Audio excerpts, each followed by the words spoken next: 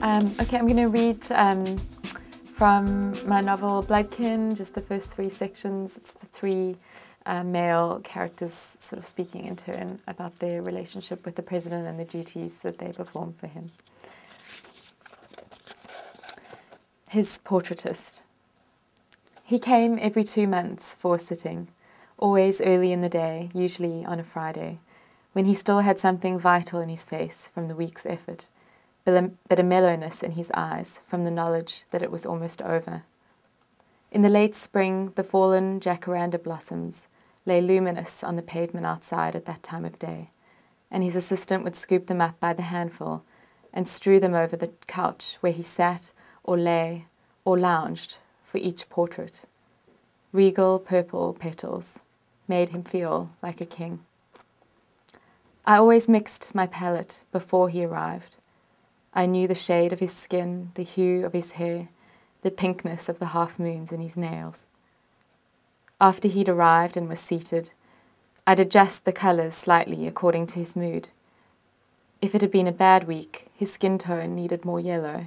If he was feeling benevolent, I added a daub of blue to the white for his eyes. He said having his picture painted was his only therapy. I would start with a charcoal sketch of his face.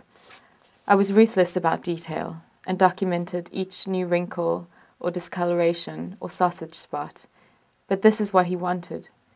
In his very first sitting, I flattered him on the canvas, and he threatened never to return. So the next time, I painted him as he was, and it pleased him. You would be surprised what can happen to a face in two months.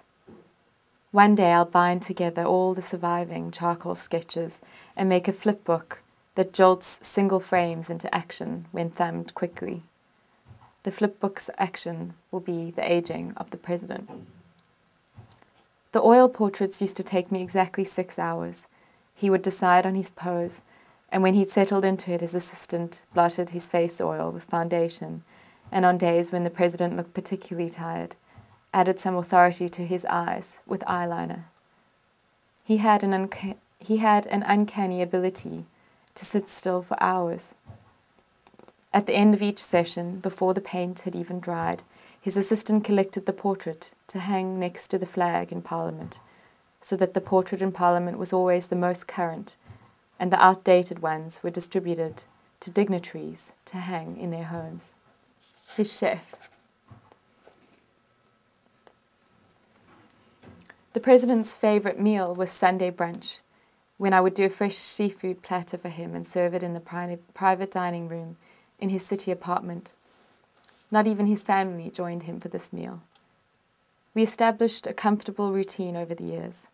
The guard would let me into the apartment at 9 a.m.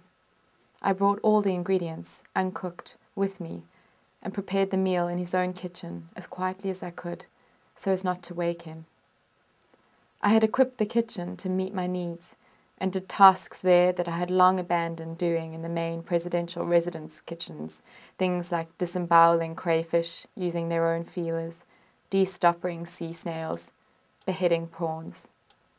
These are normally jobs for lowly kitchen boys, but in his quiet kitchen on a Sunday, I grew fond of doing my own dirty work. I communed with an earlier self that way, remembered my own humble beginnings. It reminded me of my respect for processes, the satisfaction of peeling and chopping and mincing and grating, all the myriad ways one can put a culinary world in order. I can't deny the pride I felt, knowing that each item I prepared in that kitchen would nourish the president.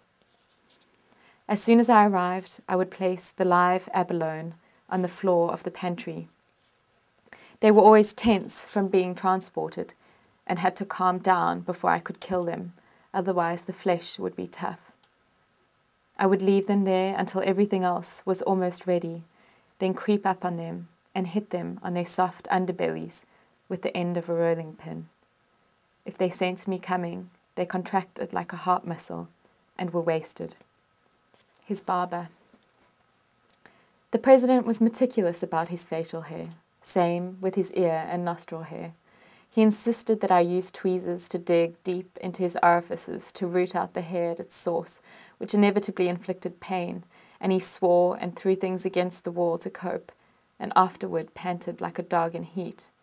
I secretly suspected he liked it. He had a daily late afternoon appointment with me in preparation for evening functions. His hair grew fast and blue, and by the end of each day his stubble showed its colour. But the ear and nostril ritual I performed only weekly. Like all men, the President's favourite part of the session was the lathering. The brush I used was soft but firm, and the shaving soap lathered easily with moisture, needing little encouragement. I made small circles on his lower face until the soap foamed. I know it felt good. For me, the satisfaction was in delathering.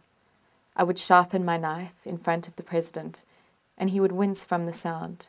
But he never opened his eyes to look, which could be interpreted as a sign of either cowardice or bravery. Then I would take his head firmly between my hands and tilt it backward. This was the moment I waited for each day. With a brisk twist of my hands, I could have snapped his neck, slit his throat with a knife flick, but I did neither. I would start at the bottom of his neck with the blade and glide it slowly upward, watching the stubble mingle with the foam. Every evening, the floor of my shop would be covered with hair. Hair is an extension of self. I believe it has power. When I looked at the hair of so many people lying tangled on the floor, it was like seeing earlier selves and discarded personality ticks made manifest, so I never threw it away. My assistant swept it into a heap, then bottled it to keep on shelves in the back room.